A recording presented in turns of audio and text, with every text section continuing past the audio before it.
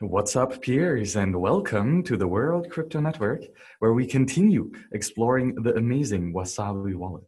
And uh, today we will go a bit further into detail on how Chaumian CoinJoins actually work. And for that, uh, well, let's go to the source. On github.com, uh, we can find the zero link, the Bitcoin fungibility framework. And that was co authored by Nopara73, who has then also worked before that on the Hidden Wallet and now, of course, the Wasabi wallet, and TDevD, uh, who is a big proponent of the Samourai wallet. And those two together, um, and of course, with the help of some uh, many other individuals, uh, have worked on this. Uh, and it is truly a fabulous uh, piece of technology. And although this is rather technical, I still really suggest that you go through uh, the entire uh, white paper here or framework here, because it is rather intuitive actually and completely doable. Uh, we will focus, however, here just on a couple parts. And the reading here is Chaumian CoinJoins, briefly described by Gregory Maxwell, one of the um, most prolific Bitcoin core developers. Using blind Chaum blind signatures, the user connects and provides an input and a change address and a cryptographically blinded version of the address that they want their private coin to go to. The server signs the token and returns to them. Then the user anonymously reconnects, unblinds their output addresses, and returns them to the server the server can see that all the outputs were signed by it, and so that all the outputs had to come from a valid participant. Later, people reconnect and sign the total CoinJoin transaction. And Nopara is here summarizing a simplified workflow. The user provides its input and a blinded output to the tumbler then the tumbler signs that blinded output and gives it back to the user. The user unblinds the signed blinded output and provides the server the signed output through a different anonymity network identity. That's a Tor identity. The tumbler then constructs the entire CoinJoin transaction and gives it out for all the users to do the final signing. Okay. And that was really dense. So I suggest you read over this paragraph several times, but it explains the gist of all or of what the CoinJoin uh, really does. And let's scroll back or down a little bit uh, to see a, the simplified protocol here uh, with a couple, you know, pictures. So there are two main different identities, actually three, um, but the two important ones are Alice and Bob. Now, important is to know that both of these uh, identities belong to the same user. They belong to the same Wasabi wallet instance that you are running on your hardware. Okay, so this is both you, but two different Tor identities. And Alice, your first identity, provides a the coin join output. Uh, so that is where the co- uh, coins are going to end up, right? That's where you're going to receive the 0.1 Bitcoin as a equally created output. And this address you blind uh, with cryptography uh, white magic.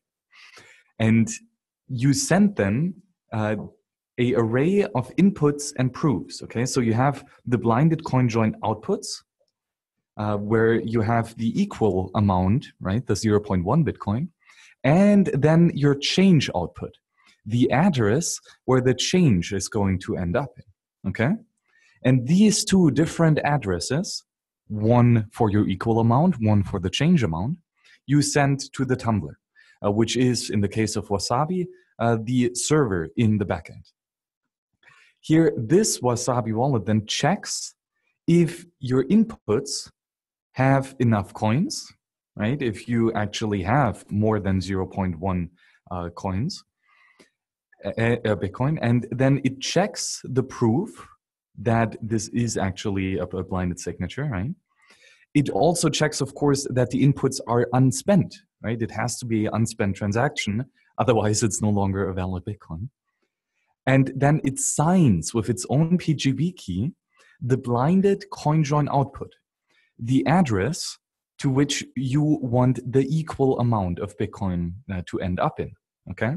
So the tumbler does not know exactly which address is Alice's, but he knows that Alice provides some valid inputs and he knows the change address from Alice, but he does not know which blinded address, uh, which, which uh, 0.1 Bitcoin address Alice will end up in.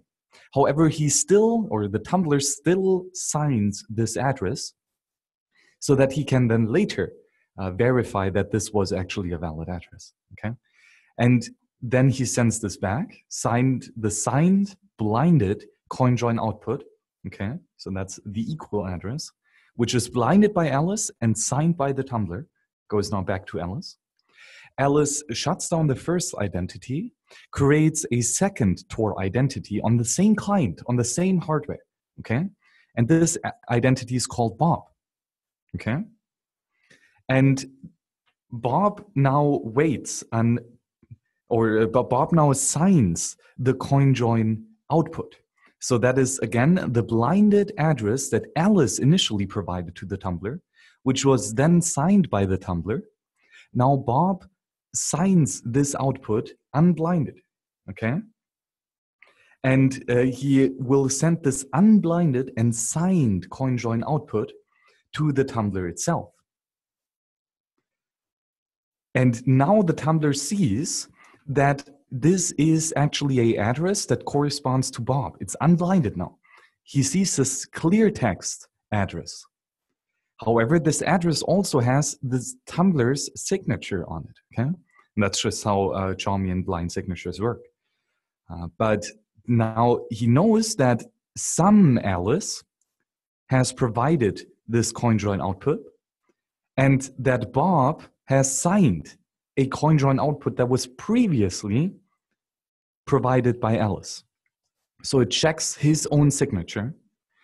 And then after all the Alices and all the Bobs have went through this step, he has all the valid inputs, all the valid uh, CoinJoin outputs, and the change outputs. And out of this, the tumbler can construct the entire CoinJoin transaction. Okay?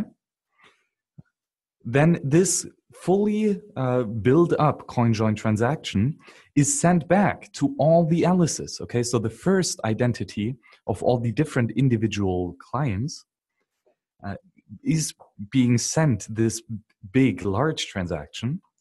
And Alice signs the now, at this moment, unsigned CoinJoin transaction which contains, of course, all the blinded CoinJoin outputs, all the change outputs, and all the inputs uh, that were provided by Alice. Uh, well, this one was blinded and unblinded and signed by Bob. Okay? And then this entire signature of the entire CoinJoin transaction is being sent back to the tumbler, to Wasabi, uh, and used, or, or then again checked for all the signatures, uh, the tumbler combines all these signatures, and when they are all valid and correct, then he has a complete large giant transaction, and this can now be broadcasted to the entire Bitcoin network, thus completing the entire process of the Chaumian CoinJoin. Okay? I know that this is rather complicated, uh, so please uh, feel free to uh, to watch this video a couple times to read the entire paper or framework several times, and uh, especially these two paragraphs that I've just read and this uh, this chart here or this this flow chart, so to say, because this really conveys the gist of it. Let's just summarize everything one more time. There are 50 different Wasabi wallets that are all combining in a CoinJoin transaction. Each of these wallets has different identities, which are different Tor network identities with different onion addresses. Uh, that is Alice and Bob. and they communicate with one tumbler, which is the Wasabi backend, which is the Wasabi server uh, in the case of Wasabi. Alice first blinds a address which she will use as the output of the CoinJoin transaction where she will receive the equal UTXO.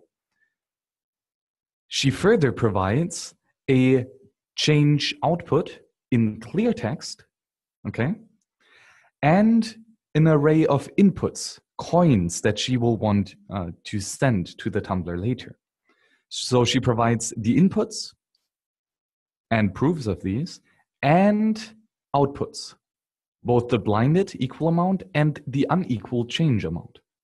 This is being sent to the tumbler. The tumbler checks if the inputs are valid and have enough coins and are unspent. He checks the proofs that Alice actually has control of these inputs. And he signs this blinded equal coin join output. Sends back this blinded coin join output. Alice can unblind this coin join output and signs it with her private key. Then she reconnects to a completely new Tor identity called Bob, and she sends the signed CoinJoin output back to the tumbler, to the Wasabi backend, which then again does not is not able to connect Bob to Alice. There are many Alices, there are many Bobs, but the tumbler does not know which Bob belongs to which Alice. The tumbler itself then checks for the valid signature of this CoinJoin output. And he, when all Alice's and Bob's have provided their inputs and outputs and the signature of the CoinJoin outputs, then he can build up the entire large CoinJoin transaction, sending it back to all the Alice's, which can now use their private key to sign off, off all the inputs to sign the build up large CoinJoin transaction. And the signature from Alice's input private keys are then being sent back to the tumbler, who checks if these signatures of these inputs are all valid, and if so, combines all these signatures, and ultimately uh, broadcasts the entire CoinJoin transaction. Peers, I hope this was somewhat clear. I know this is damn, damn, damn uh, difficult and not as easy to understand as one might think, but it is a tool for you to reclaim your privacy. And although this was a dense video, I hope I conveyed the information somewhat clearly. Please read the entire framework. It's really worth it. And please ask the questions because I absolutely did not understand this until I bombarded Nopara with 101 questions about all this. And I still have not fully understand it, especially the cryptography. I haven't even touched that because uh, that's just magic that is way beyond my head. Uh, but peers get educated, right? Try to understand it. You have the information, it's out there, right? Read the framework and then try to understand it as much as you can. And in the next video, we will see how this finished coin CoinJoin transaction actually looks like. So peers, as always, thank you very much for joining me here and see you on the next show. Bye-bye.